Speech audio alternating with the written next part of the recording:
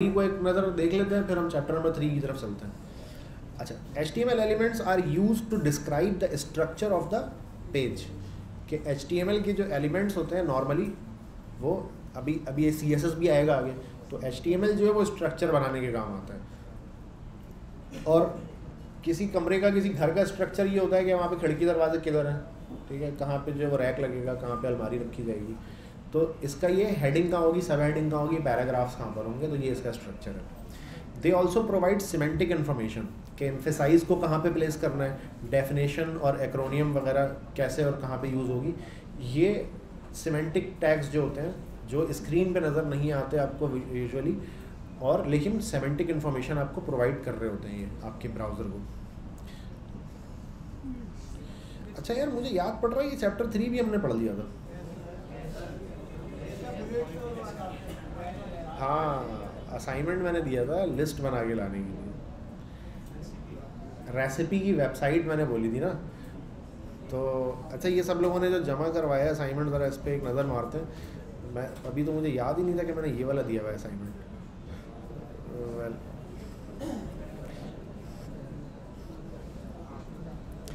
भाई, ये सीवी क्यों बनाई हुई है तुम लोगों ने? क्या हुआ इंटरनेट बंद हो गया क्या?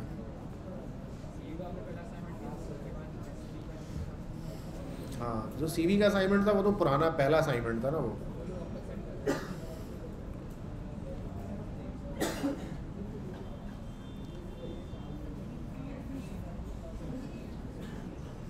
यार क्या हो गया? इंटरनेट बंद हो गया भाई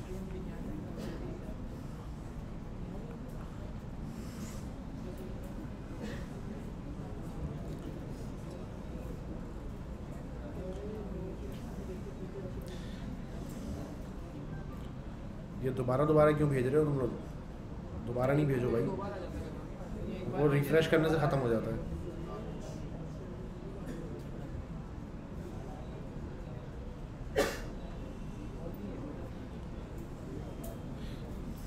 हाँ सही है, ये एक्सेप्टेबल है। गुड यार, क्या बात है।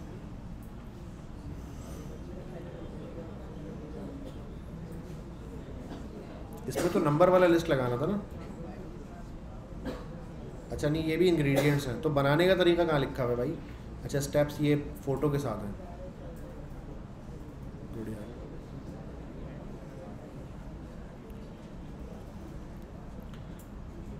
सही है। इन्होंने वीडियो भी लगाई है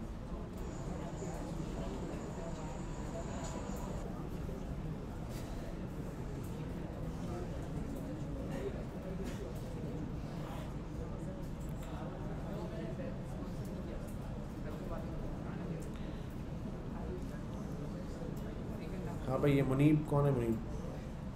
सीवी वाला थोड़ी ना बनाना था, ये रेसिपी वाला दिया था ना सीवी वाला तो पुराना हो गया अभी।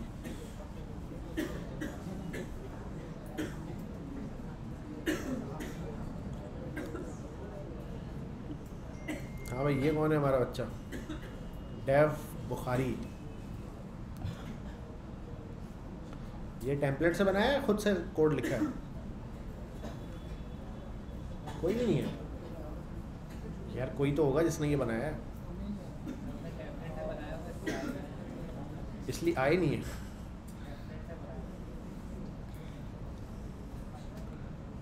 अच्छा नहीं, बनाया तो अच्छा है। बना हुआ भी रिएक्ट पे ये plain H T M L C S S पे नहीं बना हुआ।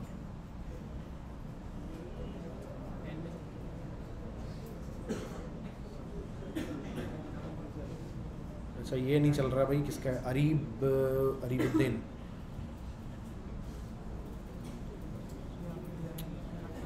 हाँ हाँ हाँ क्या बात है भाई क्या बात है।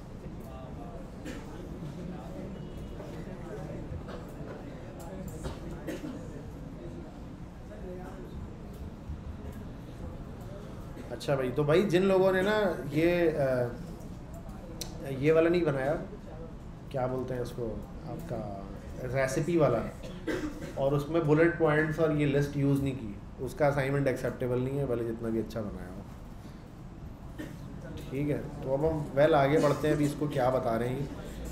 ये तो हमने डिस्कस कर लिया था कि ऑर्डर लिस्ट अनऑर्डर लिस्ट और डेफिनेशन लिस्ट क्या होता है। अच्छा ये ऑर्डर लिस्ट का जो है वो एक क्लासिक सिंटेक्स है। आप इसी को देख के एग्जैक्टली कॉपी करेंगे तो आपके पास भी ऐसा ही रिज़ल्ट आ जाएगा।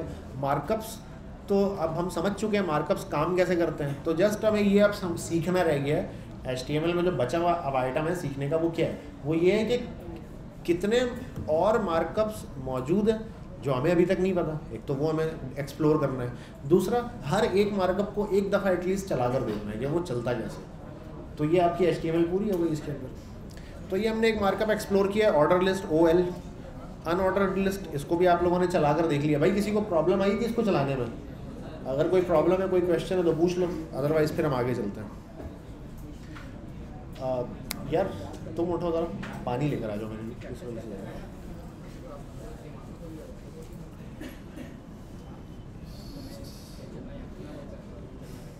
अच्छा डेफिनेशन लिस्ट जो है वो भी बहुत ही सिंपल सी है।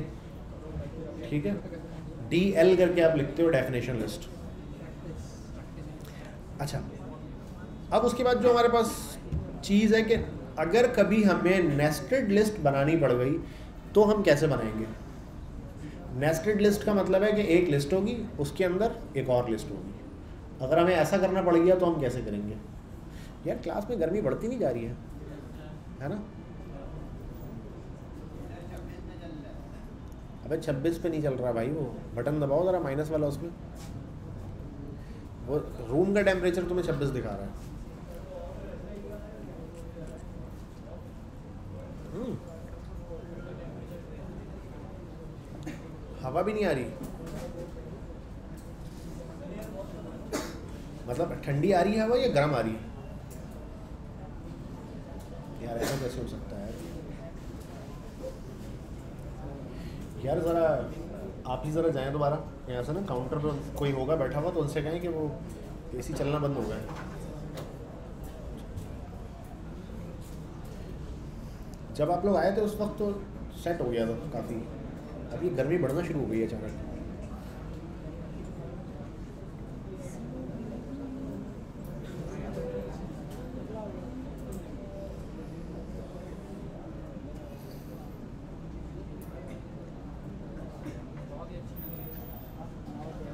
ये वाला एसी ना काम नहीं कर रहा पर वो वाला काम कर हाथ उठाकर देखो जरा। काम कर रहा है लेकिन बच्चों ने नीचे अरे भाई। हाँ।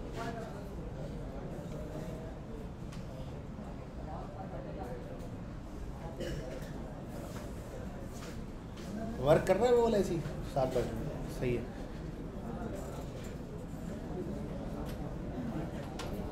अबे वो लास्ट वाले एसी के साथ क्या किया भाई तुम लोगों ने?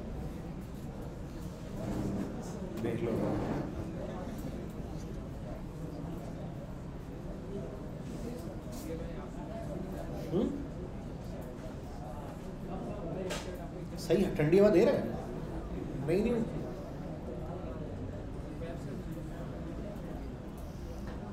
बस देखें ज़रा उसको फुल कर दें यार। अचानक में क्लास में गर्मी बढ़ना शुरू हो गई है, इसलिए मैंने आपको बुलाया।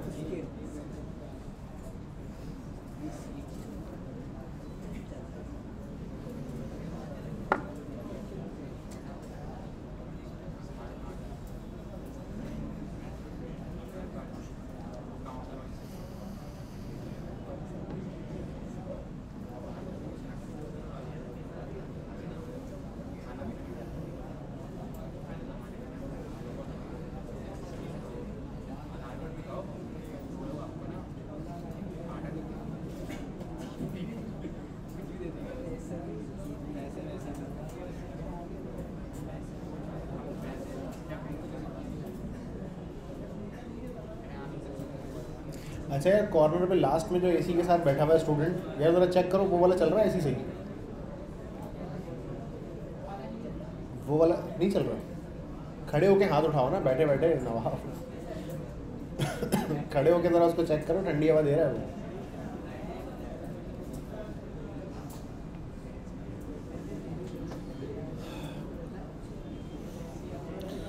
गर्मी बढ़ती है ना जब तो इंटेलेक्चुअल फिर कहीं चला जाता है।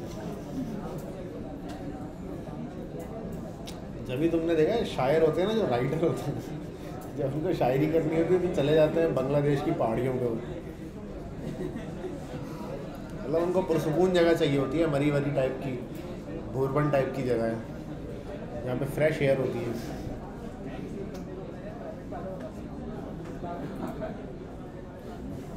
वेल well, अच्छा भाई अभी इधर मुतवजह हो जाओ सब लोग ना।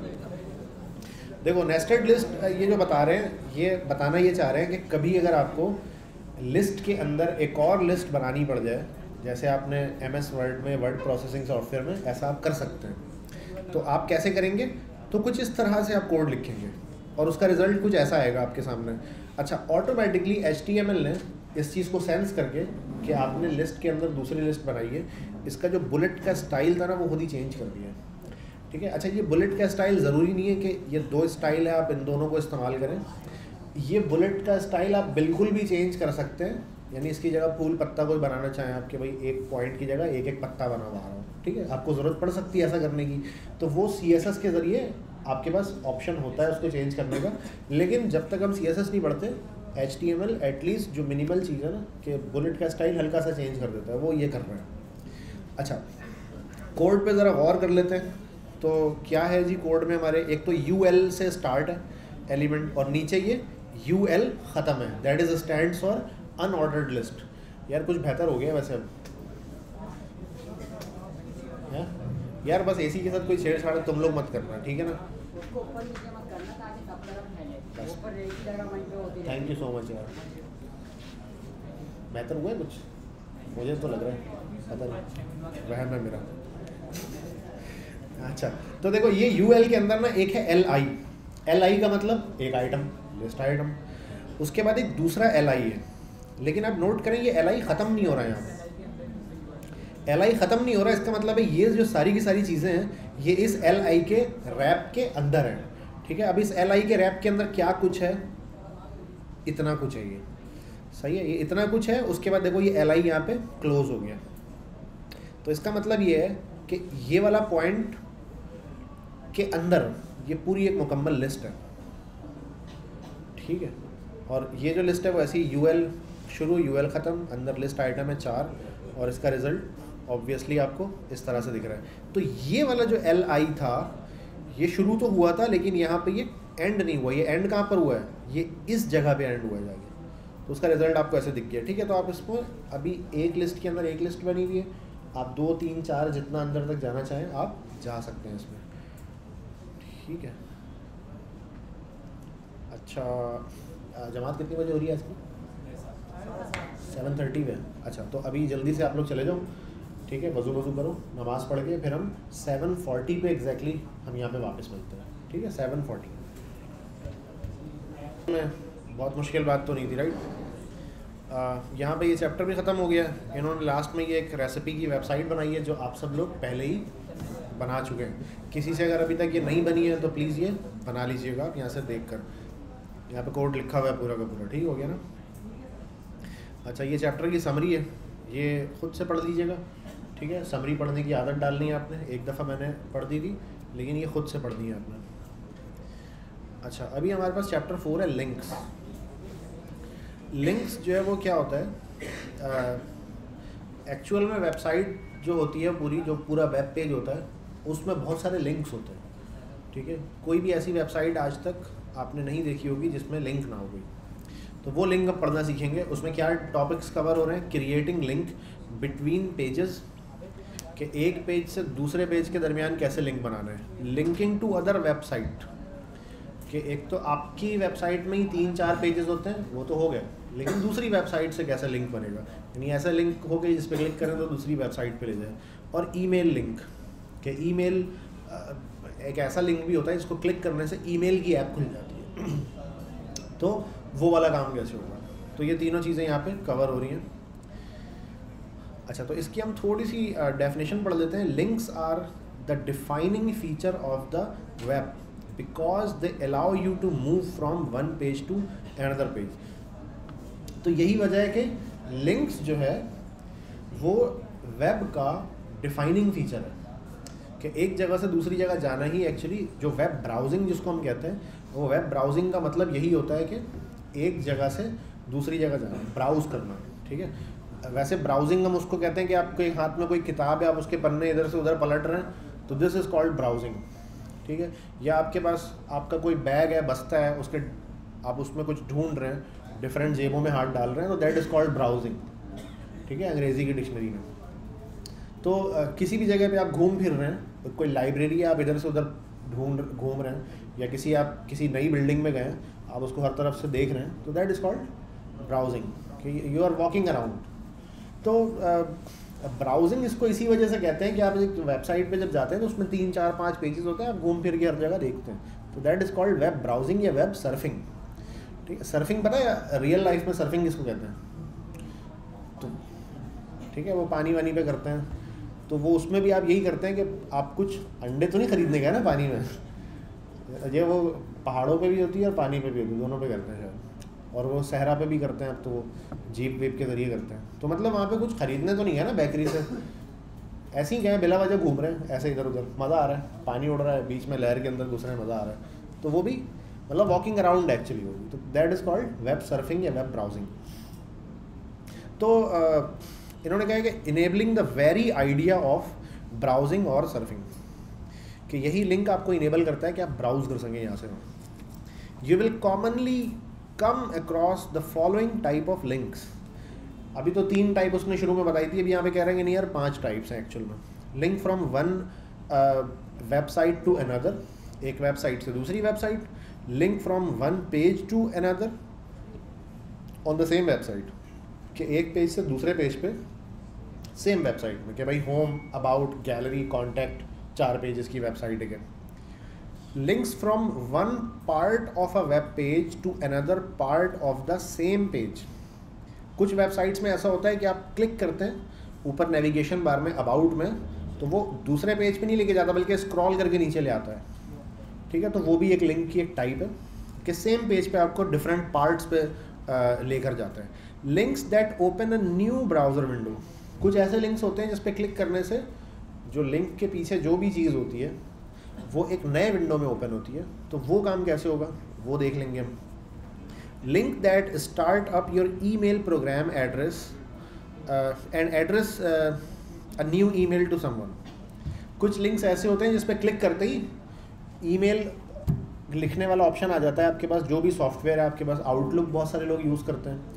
अगर आपने गूगल क्रोम को अच्छे से सेटअप किया हुआ है तो क्लिक करने पे गूगल क्रोम खुल के जीमेल खुल के सामने आ जाता है, उस पर ईमेल लिखी हुई भी आ जाती है।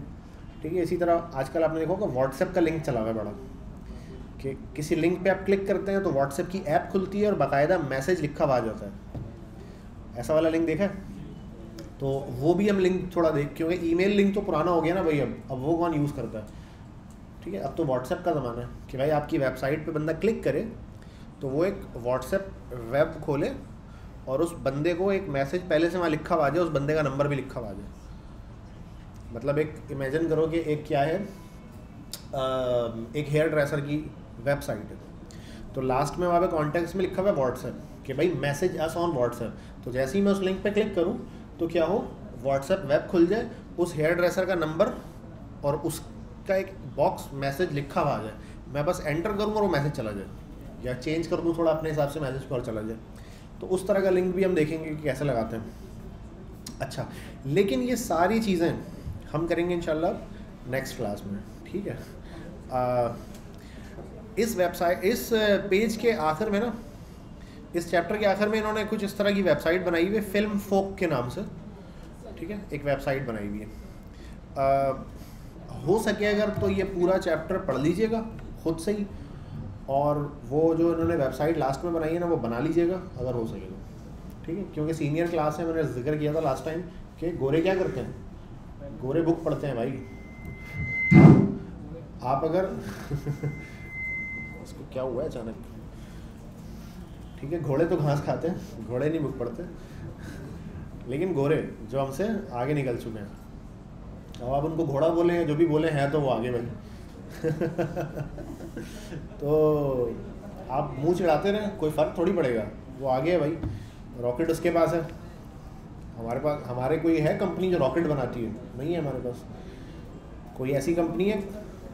आपको ये जान के हैरानी होगी कि, हैरानी क्या होगी? आप सब लोगों को पता है रियलाइजेशन की बात है कि हम एक आम जो इस क्लास में बैठा हुआ स्टूडेंट है, जो चीज़ें इस्तेमाल करता है ना उसमें से टेन परसेंट चीज़ें सिर्फ़ ऐसी होती हैं जो यहाँ मैनुफैक्चर हुई हुई हैं, पाकिस्तान के अंदर लोकली बाकी तमाम चीज़ें आपने इम्पोर्टेड पहनी हुई हैं।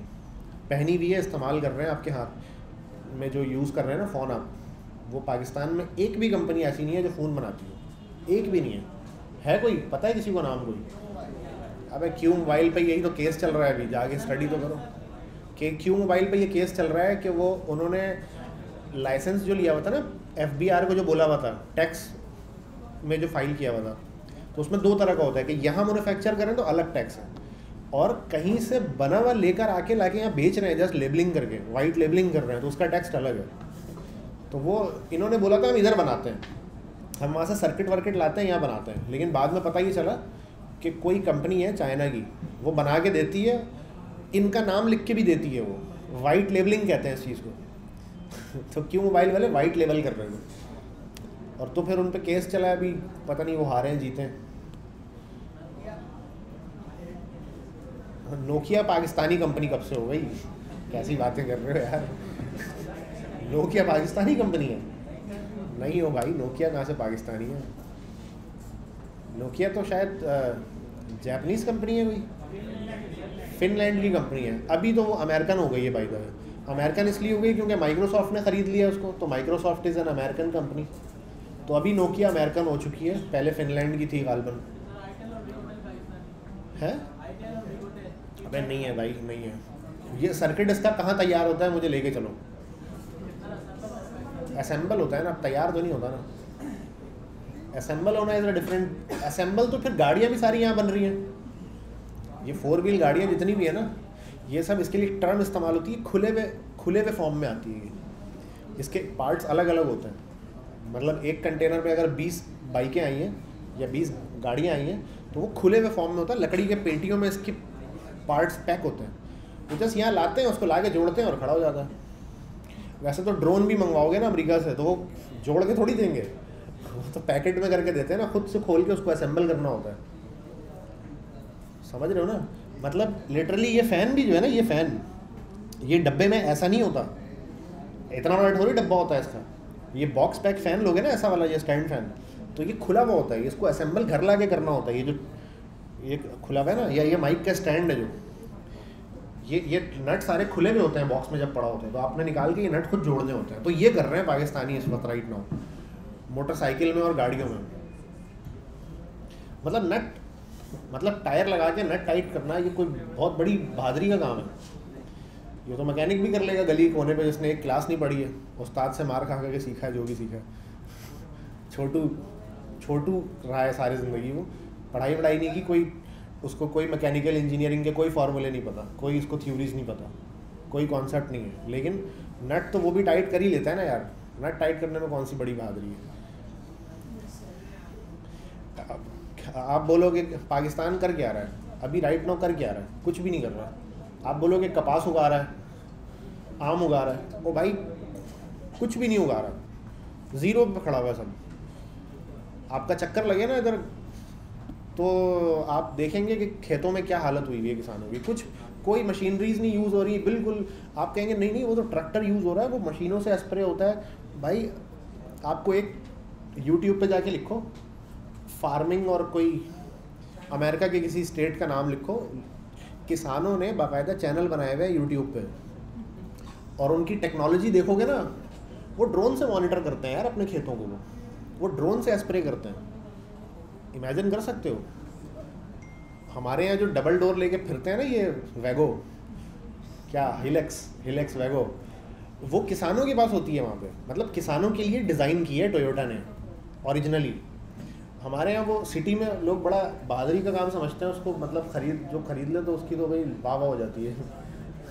आप, आपने देखा होगा बहुत सारे लोगों को मतलब आते हैं ना वो यूट्यूब वगैरह पे तो कहते हैं, यार, ये हमने गाड़ी ली है। वो गाड़ी थोड़ी वो ट्रक है, भाई किसानों के लिए बना है और किसान उसको प्रॉपर यूज़ करते हैं। हमारे यहाँ के किसानों के पास जाके देखो, एक ही ट्रैक्टर है, उसी पे वो हल भी चला रहा है, उसी पे बच्चे को बीमार होता है तो अस्पताल भी लेके जा रहा है। सब कुछ उसी पे है और वडेरा सिस्टम है, जिसकी ज़मीन है वो काम नहीं करता। जो काम करता है, उसके पास ज़मीन नहीं है। अजीब सिस्टम चल रहा है। कोई टेक्नोलॉजी नहीं है। गवर्नमेंट को पता भी नहीं है कि किसान क्या कर रहा है, नहीं कर रहा है। चाय तो सभी पीते हैं ना, इस रूम में बैठे हुए सब लोग। पाकिस्तान में चाय की खेती बाड़ी कहाँ हो रही है, मुझे बता दो क्या हो नहीं सकती? कॉफ़ी जो है ना, कॉफ़ी। आपको पता है, कॉफ़ी दो साल, दो सौ साल हुए कॉफ़ी को। अमेरिका में 200 साल पहले पहुँची है कॉफ़ी। उससे पहले उनको कॉफ़ी का नहीं पता था और उनके बकौल उनके, उनका ऐसा मानना है कि ये जो रेवोल्यूशन हो रहा है ना सारा, कॉफ़ी की वजह से हो रहा है। उनका मानना है। तो पहली बात तो चाय हमें पीनी नहीं चाहिए, हमें पीनी चाहिए कॉफ़ी। ठीक है, मगर कॉफ़ी भी नहीं उगा रहे। कॉफ़ी इस वक्त, आपको पता है, अमेरिका में एक कप कॉफ़ी जो है ना, वो पाकिस्तानी हज़ार रुपये का है। यानी आपको अगर एक कप चाय कोई देगा, हज़ार रुपये की आप लोगे? नहीं लोगे। वहाँ पे कॉफ़ी का एक कप ना हज़ार रुपये का है मिनिमम पाकिस्तानी।